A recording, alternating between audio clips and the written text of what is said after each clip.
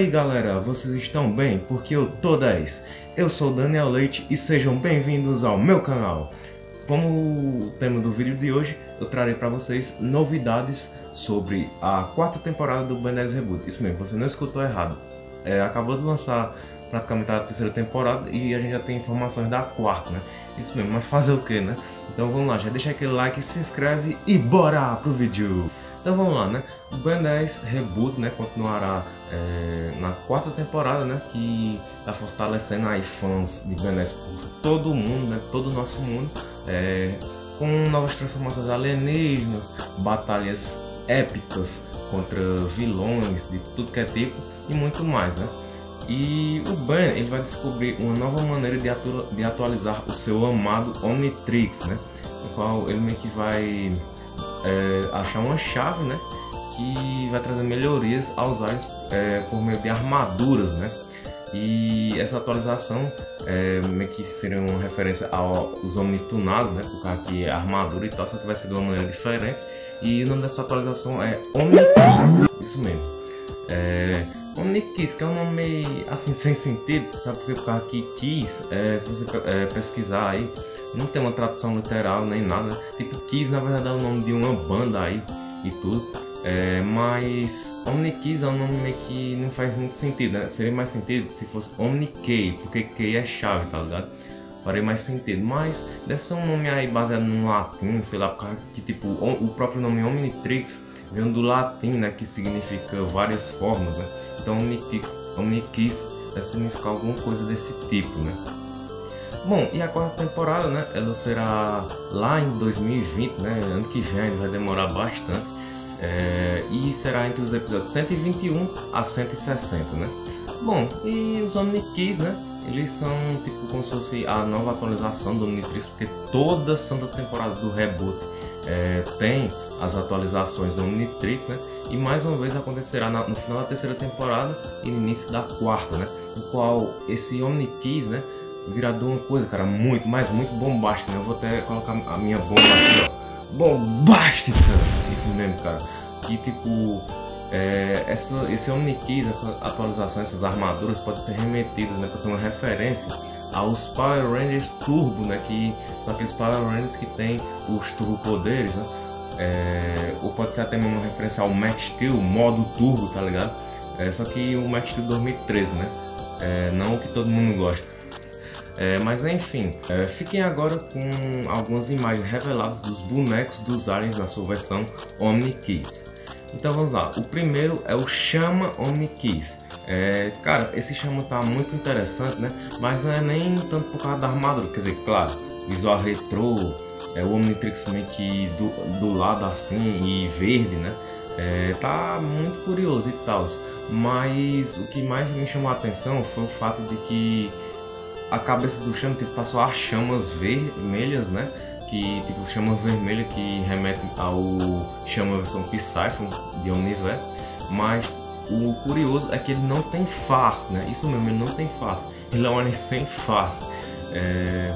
E tipo, a gente conhece muito bem um personagem não americano, porque tipo Ben 10 é uma franquia norte-americana, mas a gente conhece um personagem que não faz parte de lá, que é meio que na cabeça dele tem chamas, só que não tem face, que é quem? A mula sem cabeça, isso mesmo. Um personagem folclore brasileiro sendo representado por um alien de uma série é, norte-americana. Será mesmo que, né, que o chama vai fazer uma referência ao Brasil?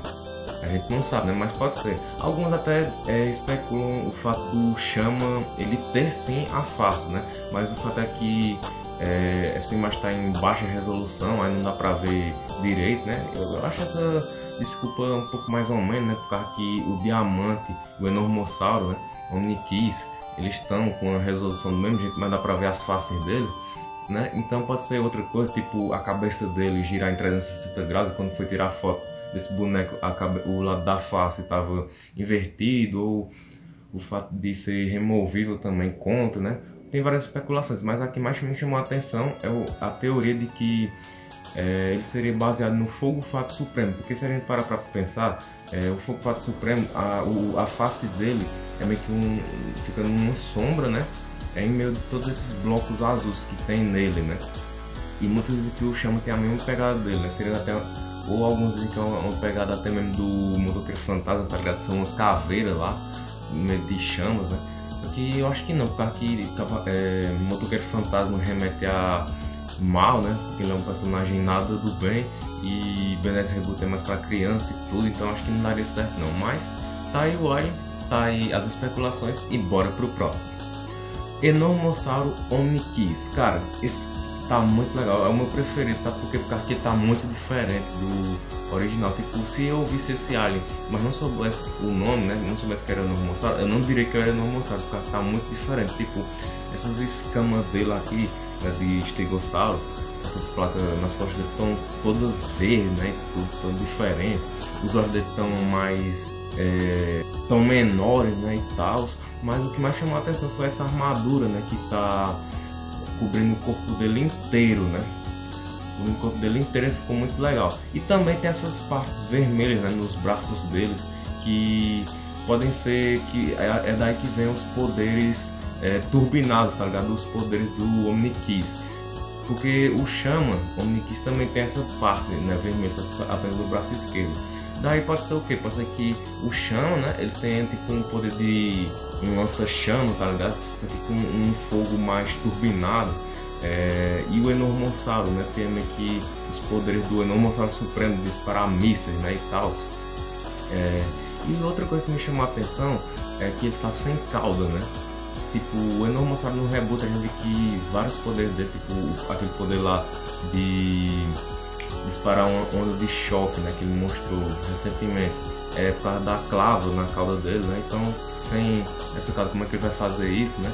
Tipo, pode ser a pegada do Supremo, sabe? Até o Supremo deles ganham poderes novos, mas perdem alguns antigos, né? Como o Eco Supremo que perde poder de se multiplicar, mas ganha poderes de super velocidade do som, ou os disquinhos sonoros, além da frequência do som dele aumentar, né?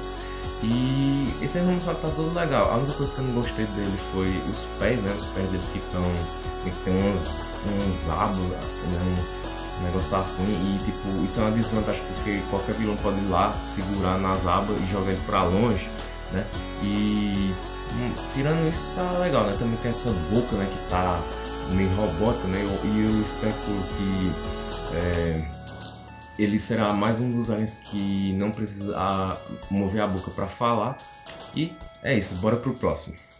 Próximo alien, o último, mas não menos importante, é o Diamante Omnikiss. Que, cara, é, esse diamante aí é, lembra muito o Tetrax. Sabe por quê? Porque o Tetrax era o Petrosapien da vez, da saga clássica, né? O episódio Caçado, né? Que é o episódio que não só ele estreia, mas também os outros caçadores, né? O 66 e o Crab, né? A gente descobre, né? O Ben descobre, né? Que é, não existem só os aliens do Omnitrix, mas também aliens de outros planetas, né? E o Tetrax, ele tipo era um, o Petrosapien muito forte, né? Tanto que ele que incentivou o Ben a treinar o Diamante, né? Porque ele chegou lá e disse, você não tem a noção do potencial que esse alien tem. Então o Ben foi lá e treinou ele, tanto que hoje né, o diamante ele é muito mais forte que o Tetrax, né? Que a gente sabe que o Tetrax bateu de frente com o Vilgax, mas não deu nem pro cheiro. Mas o diamante já deu uma bela surra no Vilgax, né? E tudo. Então a gente pode remeter o, o diamante Omnikiss a isso, né? A um diamante mais poderoso, né? Ou tipo um diamante de Alien Force, Supremacia, né? Ou o de Universo, né? Que é o diamante mais forte de todos, né? Por causa da experiência do Ben ter aumentado e tal e tudo, né? A gente pode até imaginar os poderes novos, tipo o diamante disparando um raio, né? Porque, tipo, o diamante, ele em um universo, é, no episódio de desenvolvimento interrompido, é mostrado que ele pode refletir raios, né? O, o Billy Billions disparou um raio nele e bateu no diamante, aí refletiu. É, mas o diamante de Alien Force ele meio que consegue fazer os poderes do cromático, né? Ele absorve o raio depois dispara. Aí muitos acham que o diamante Onyx vai fazer isso, né? Mas a gente não sabe ainda, né? Mas de qualquer forma vai ser um diamante muito poderoso, né? Porque aqui, tipo, ele tem essas partes de diamante nos braços dele que seriam meio que um, de um lado é, do lado direito é uma espada e do lado esquerdo é um escudo, tá ligado? Além de também ter esse capacete, né, que esconde um pouco o rosto dele, é, pode ser meio que uma viseira, né, igual o Tetrax, por isso que eu digo que ele tem uma forte, uma forte semelhança com o Tetrax, né, e tudo. É, e é isso, né? São esses os, os áreas, todos os três são muito legais, né? E um favor que eu quero pedir para você que está assistindo esse vídeo, além de deixar o like e se inscrever, que é o que? Comentar teorias sobre os Omnikis, isso mesmo. É, vocês comentem aí é, as melhores teorias que vocês imaginarem sobre a quarta temporada de Os Omnikis, que aí eu vou selecionar as três melhores, beleza? Eu vou fazer um vídeo é, debatendo sobre as melhores teorias dos Omnikis do Ben 10 Reboot quarta temporada. Então é isso, falou e tchau!